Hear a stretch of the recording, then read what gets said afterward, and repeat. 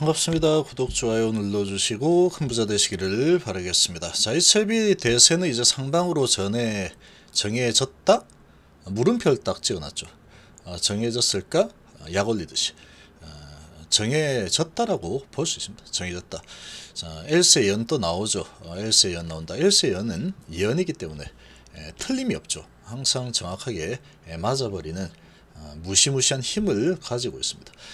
자, 4년 적자 행진을 보이고 있는 카카오페이죠. 카카오페이가 뭐 이런 식으로 해가지고 돈 언제 벌 건데 계속 매출이 좀 나오긴 하지만 계속 까먹고 있잖아. 이거 뭐 언제 뭐 흑자 전환 할 수 있기는 뭐 있는가 맞아?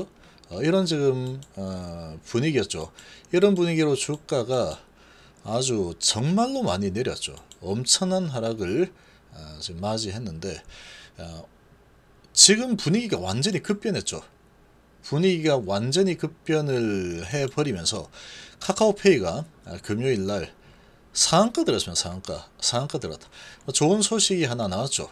좋은 소식이 하나 나오면서 무려 상한가에 안착을 했습니다.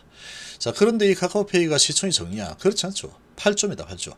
지금은 위험자산 선호 시장이죠. 낙폭 과대한 위험자산 선호 시장. 꿈을 가진 기업들, 이 꿈이 현실이 되게 되면은 아주 크게 기업의 가치가 급변을 할 것이다. 라는 이런 성장주죠. 꿈을 가진 성장주가 아주 강력한 그런 매수 쪽으로 매수세가 강하게 들어오고 있는 상황이다. 이렇게 좀 볼 수가 있습니다.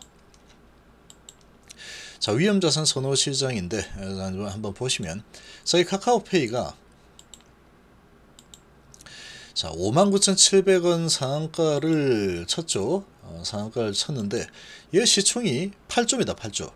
8조의 시총을 어, 기록을 하고 있는데 시장이 안 좋을 때는 어, 지금 이런 위험자산에 투자했다가 혹시 이거 망하는 거 아니야? 어, 그리고 지금 같은 어, 긴축이 계속 진행이 되는 이 시장 분위기에 이렇게 뭐 계속 적자 보는 기업에 내가 투자를 왜 해? 일단은 좀 팔고 보자.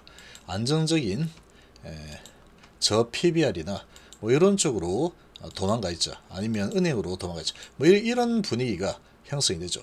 이런 분위기가 형성이 되는데 아, 지금 이 CPI가 아주 엄청난 CPI가 나왔죠. 어마어마한 정말 예상을 깨버린 아주 지금 양원 CPI가 아, 나오면서 아, 이 시장의 이 분위기가 완전히 바뀌어버렸죠. 이제 위험자산이 최고야. 이렇게 완전히 바뀌어버린 예, 상황입니다. 그래서 지금 상한가 쳤는데 한번 보시면 재물을 한번 보시면 HLB는 이제 흑자 회사죠. HLB는 HLB는 이제 흑자 회사는 흑자 회사. 어, M&A 잘 해가지고 어, 흑자 전환했죠. 그래서 HLB하고 생명과학은 뭐 관리 종목 간에 만에 이런 거 이제 신경 안 써도 되는 상황으로 아, 바뀌었습니다.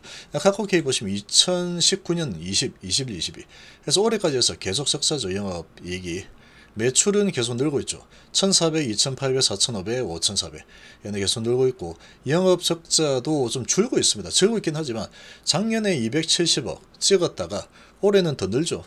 330억 아, 영업이 계속 적자입니다. 계속 적자를 보고 있지만 이렇게 적자를 보고 있는 상황인데 이 상한가가 들어가 버렸다.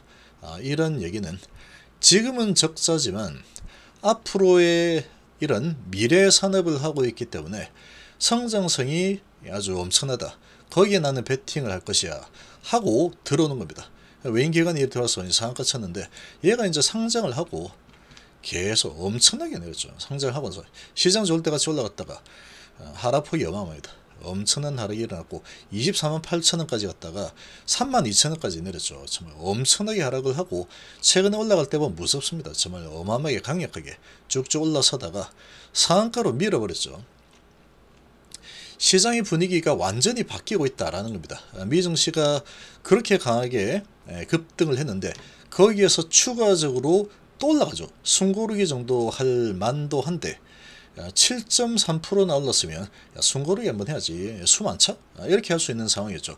그럼에도 불구하고 아주 강력하게 나 숨 찰 여력이 없어 지금 내가 지금 어, 내려온 게 어, 얼만큼인데 여기서 지금 벌써 숨고리 한다고 안돼 좀 더 올라가서 나 숨고리 하다말다 할까 이런 지금 상황이죠 아마존도 어, 지금 크게 올랐는데 또 이렇게 오르고 테슬라 구글 애플 MS 반도체는 뭐 5% 어, 4%또 올랐죠. 자 이렇게 달리고 있습니다. 그러니까 위험 자산 그리고 기술주들 이 금리에 좀 민감한 그런 종목들이 아주 강한 모습을 보이고 있죠.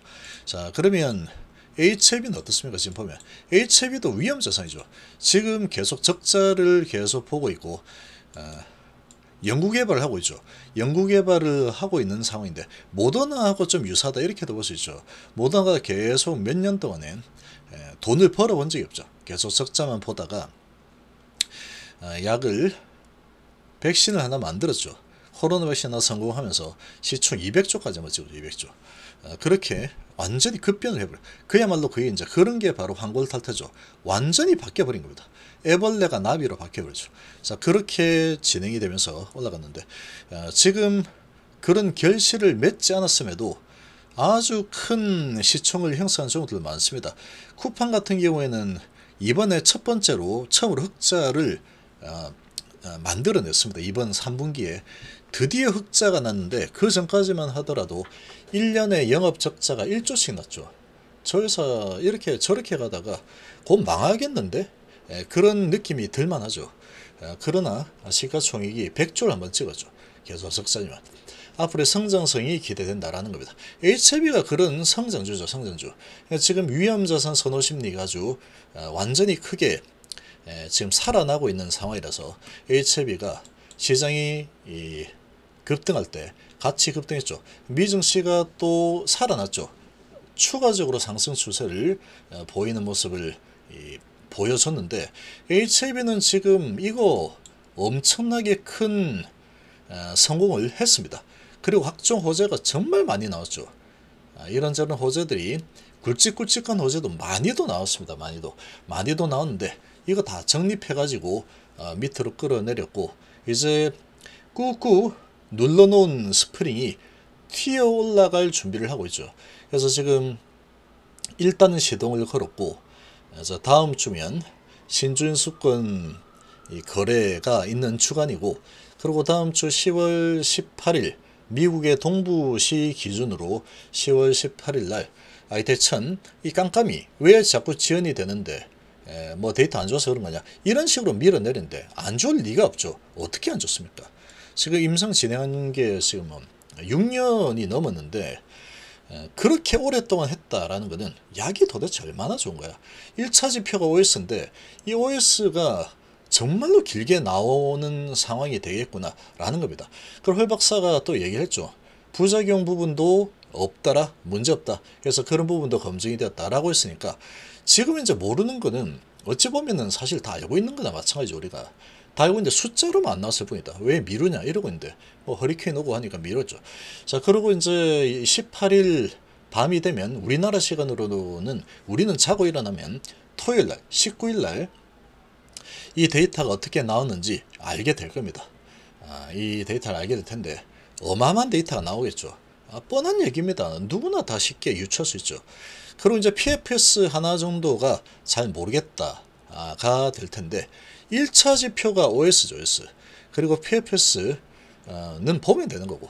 그래서 OS가 잘 나오고 부작용이 없다. 그러면 거의 뭐 어, 알만한 거는 다 알고 있는 상황이다. 단지 숫자가 얼만데 이걸 모르는 상황일 뿐이죠. 근데 그걸 가지고 마치 실패한 것처럼 끌고 내려온 상황이다. 말도 안 되는 상황이 일어난 겁니다. 이게 가능한 게 그만큼 HB 세력이 힘이 좋다는 얘기죠. 그럼 이렇게 이제 깜깜이로 끌어내렸는데 이제 그렇게 끌어내릴 만한 환경이 아니죠. 완전히 바뀌었습니다. 완전히. 시장도 살아나고 있고 이제는 이런 부분이 18일이면 데이터가 이제 나오죠. 알 수 있는 상황인데 근데 유출을 해봤을 때 이미 알고 있습니다 우리는 엄청나게 좋은 데이터가 나올 거라는 거를 이제 그런 상황이니까 주가를 누르기가 쉽지 않을 겁니다 누르면 이제 매수세가 계속 들어오겠죠 이것 좀 올랐다고 해도 아주 쌉니다 지금 38,700원 밖에 안 하죠 단돈 이런 상황이니까 다음 주에 눌러대는 흐름이 나오기가 쉽지 않을 거다 숨고르기 형태로 7.8% 올랐으니까 아, 좀 내려가자 하고 할 수 있겠지만 그러면 다시 매수세가 들어와서 올리겠죠. 당장 뭐 월요일 날 아, 올리는 이런 흐름이 안 나온다. 아, 라고도 볼 수 있습니다. 그건 모르니까. 그러나 그렇게 눌러댄다 그러면 화요일 날 올라가겠죠. 만약에 누르면 화요일 날 못 올라간다. 수요일 날 올라갈 겁니다. 신준수건 증사가 거래되는 에, 그런 식이에요. 그래서 그렇게 지금은 데이터를 유- 충분히 유추할 수 있는 상황이기 때문에 이 메이저 세력들이 끌어올리면 그냥 올라가는 겁니다. 그리고 올리게 되면은 시장의 민심은 어떻게 바뀌냐?